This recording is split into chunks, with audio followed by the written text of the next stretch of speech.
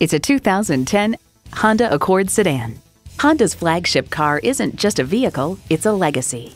It boasts an impressive list of features like these AM FM satellite radio, power heated mirrors, front heated leather bucket seats, auto dimming rear view mirror, wireless phone connectivity, dual zone climate control, automatic transmission, power sliding and tilting sunroof, gas pressurized shocks, and i4 engine.